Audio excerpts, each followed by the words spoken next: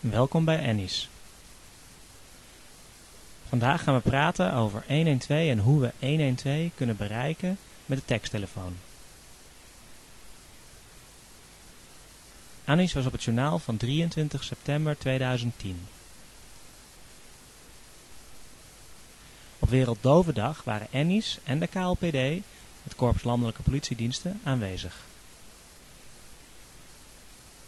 Samen hebben ze een presentatie gegeven over hoe mensen de noodhulpdiensten 112 kunnen bereiken met een teksttelefoon. Nederland is het eerste land waar dove en slechthorende noodhulpdiensten 112 kunnen bereiken met een mobiele teksttelefoon.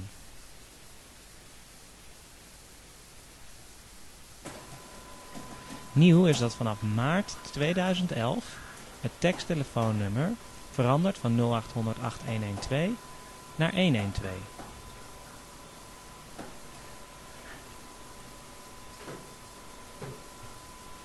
Dat is dan hetzelfde nummer dat horende mensen gebruiken als ze de noodhulpdiensten willen bereiken. Vanaf nu tot maart 2011 kunnen jullie het nummer 0800 8112 blijven gebruiken voor het bellen naar de noodhulpdiensten.